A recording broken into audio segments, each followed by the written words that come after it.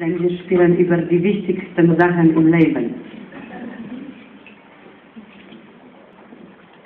Ein junger Mann hat sich verliebt in junge, schöne Frau, dadurch, wie sie tanzt. Darum ich empfehle euch alle, Bauch auf frische Luft zeigen, wie meine Freundin aus Ghana sagt mir beim Tanzen, die einen nicht denke, befreie Arsch. Das ich auch euch empfehle, denn dieser Lied ist genial. Weltberühmte Komposition von Dikanda. Yakana!